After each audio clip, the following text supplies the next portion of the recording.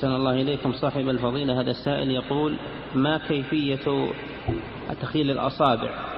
وما فائدة ذلك؟ وأي الأصابع تخلل؟ أصابع اليدين والرجلين. وكيفيته يدخل إصبعه مغلولة بالماء بين أصابعه حتى يصل الماء إلى ما بينها نعم. أحسن الله إليكم. انتهى. الله تعالى أعلم. وصلى الله وسلم على نبينا محمد وعلى آله.